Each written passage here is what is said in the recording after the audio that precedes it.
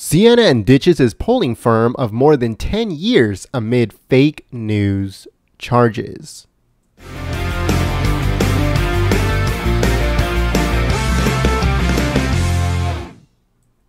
Hello, folks. My name is Jen. I'm from Golden State Times, and today we have a news story. This one comes courtesy of Breitbart.com, and it says that CNN announced that after 10 years, it parted ways this week with its longtime polling firm, ORC International, amid charges of fake news and faulty polls.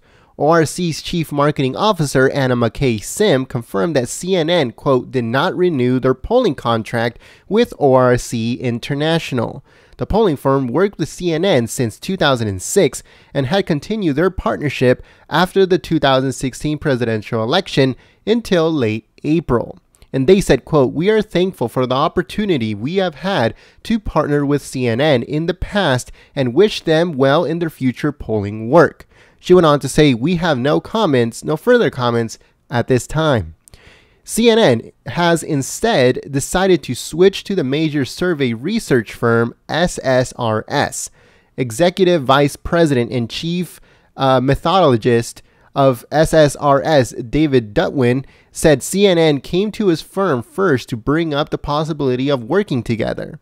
And they said, quote, at the end of the day, suffice to say that we are unhappy with something, Dutwin said when asked at the end of CNN's relationship with ORC, I think we have a pretty strong, strong reputation, so they came to us with a proposal to work with them.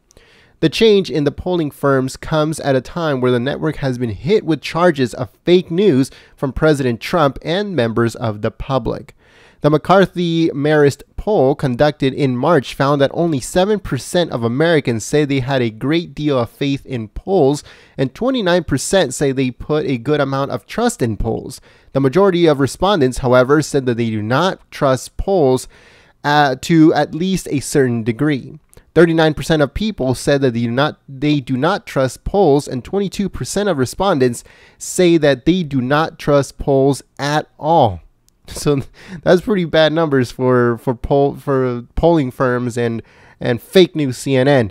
It says the public distrust of polls in CNN's case may have to do with the final 2016 presidential election polls in some swing states being off greater than the margin of error.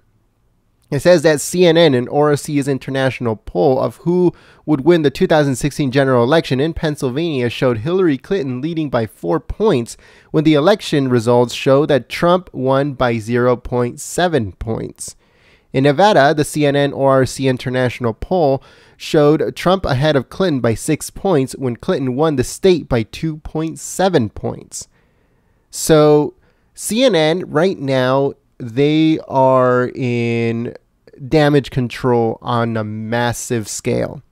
Not only are they changing their polls, they are firing certain people uh, and hosts and stuff like that. What they're also doing is that they're afraid that they're going to be sold off. Okay, we have uh, reported on this before. Time Warner is the one that owns CNN. AT&T is on the process of purchasing Time Warner. But see, uh, AT&T has said that once it purchases Time Warner, they're gonna sell CNN because they don't want to deal with it. AT&T has a good relationship with the Trump administration's FCC branch, so they don't want any problems between them, AT&T, and the FCC, and they think that um, that CNN is going to cause tension. So they want to separate themselves from CNN and they are willing to sell. And CBS, fake news CBS, is willing to buy. So that's where they're at right now. Now, if they do sell off, a lot of people within CNN know that they're going to get fired. They know that there's going to be a shift. They know that they're going to come in, uh, into some changes with CNN. Okay, so they're afraid in, uh, on that front. And now, since there is absolutely no trust in CNN. There's no trust in polls. Now they're trying to scramble and see what they can do to try to change the perspective of CNN and polling by going with a different company. Okay? So you know, this is just uh, you know, this this is this comes straight from the the business playbook. This comes straight from the business playbook, and where they try to make it seem like they're going to change just because they're changing from one firm to another one. Okay, so who knows what is going on in you know behind the scenes at CNN? I'm pretty sure it's just pure turmoil because they're losing viewers, they're losing subscribers, they're losing everything, and uh, what's it called? They're they're even about to lose a home. So let us know what you guys think about this, folks. Do you think that CNN is going to survive the next four years? I highly doubt that CNN is going to survive the next four years. What I think might happen is that CNN is going to get dismantled and going to get absorbed by maybe one or maybe a few of the three letter uh, mainstream media outlets like ABC, NBC, and CBS, and all these other guys. I'm pretty sure they're going to absorb CNN after it gets dismantled because it's just not going to survive. And that's just basically what I think is going to end up happening. But let us know what you guys think in the comment section below. And like always, my name is Jen. I'm from Golden State Times. And uh, President Trump spoke earlier, uh, one regarding what happened in Charlottesville, Virginia.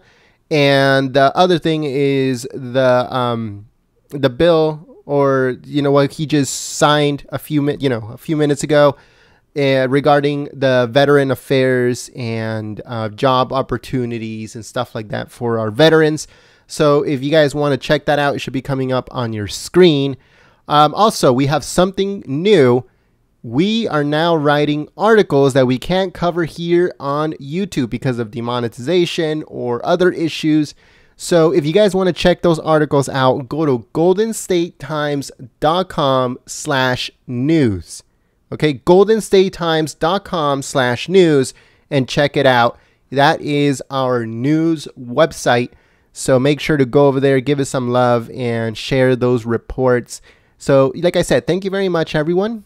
Um, one last thing we are looking for writers for our uh, Golden State Times articles. So, if you would like to um, to send us your resume or whatever, uh, or if you're interested, make sure to send me an email at gent G E N T G as in go, E as in elephant, N as in no, T as in tornado, uh, at goldenstatetimes.com. Again, that's gent at goldenstatetimes.com. Send me your stuff and uh, I'll get in touch with you and uh, we'll go on from there if you want to be a writer for us here at Golden State Times. So, yeah, thank you very much, everyone. I hope to see you guys here soon. My name is Jen. I'm from Golden State Times. Uh, make sure to check the links in the description below. If you would like to help us get to the next Trump rally, make sure to click the links in the description below for our GoFundMe. Uh, we're trying to get to the next Trump rally, folks. We really want to get there. Uh, so make sure to go to GoFundMe. If you don't want to go through GoFundMe, you can go through PayPal. The link for that is also in the description below. So if you want to help us out with a dollar, five dollars, whatever you can, that would be amazing. So that way we can get to the next Trump rally, we can stream it and film it using our own cameras, and uh, bring you guys the footage that the mainstream media will not bring you, will not show you. So yeah, folks, thank you very much for watching. If you're new, subscribe and also make sure to smack that like button and hit the notification bell. And I'll see you guys next time. Peace.